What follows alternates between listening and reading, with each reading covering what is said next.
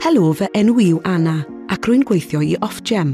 Yma yn Offgem mae gennym ni bwerau i osod cap ar brisiau tariffau yni er mwyn helpu sicrhau eich bod chi'n talu pris tegach os ydych chi dan anfantais yn y farchnad a'ch diogelu rhag talu gormod.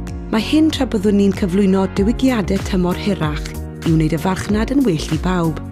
Dydy capiau a'r brisiau ddim yn gosod eich bil yn misol maen nhw ond yn gosod y pris ar gyfer pob uned o ynni ydych chi'n ei defnyddio. Felly, os byddwch chi'n defnyddio mwy o unedau o ynni, byddwch chi'n talu mwy o hyd. Mae pris eich tariff wedi'i gapio yn dibynnu ar nifer o bethau. Sut rydych chi'n talu? Ble rydych chi'n byw? A pha fath o fesurydd sydd gennych? Ddwy waith y flwyddyn rydym yn pennu lefel y capiau i adlewyrchu newidiadau yn y costau i gael ynni i chi a chwyddiant ni fydd cyflenwr yn gallu codi tal arnoch chi sy'n uwch na'r lefel y byddwn ni'n ei gosod, er y gallwn nhw godi tal sy'n is.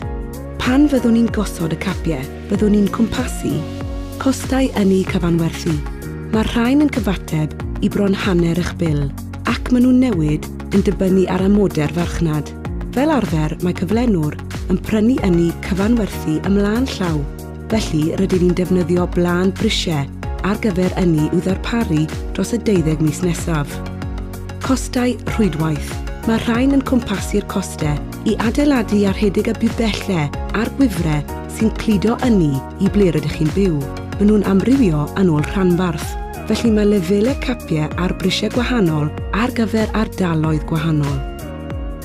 Costau polisi sy'n ymwneud â rhaglenni'r Llywodraeth – er mwyn arbed ynni, lleihau allyriadau ac annog pobl i ddefnyddio ynni adnewyddadwy. Costau gweithredu. Mae cyflenwyr yn ei talu ddarparu pethau fel gwasanaethau bilio a meseryddion gan gynnwys meseryddion deallus.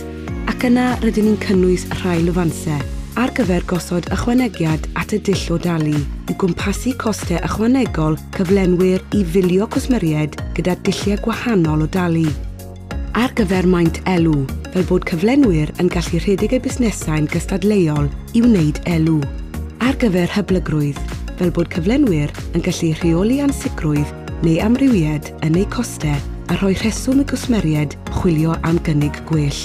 Nid tariff ynni wedi'i gapio fydd y cynnig rhataf a byddwch chi'n debygol o arbed mwy os byddwch chi'n newid. Ond os na byddwch chi'n newid, rydyn ni yma i wneud yn siŵr eich bod chi'n talu pris tegach ar sail y costau i gael ynni chi.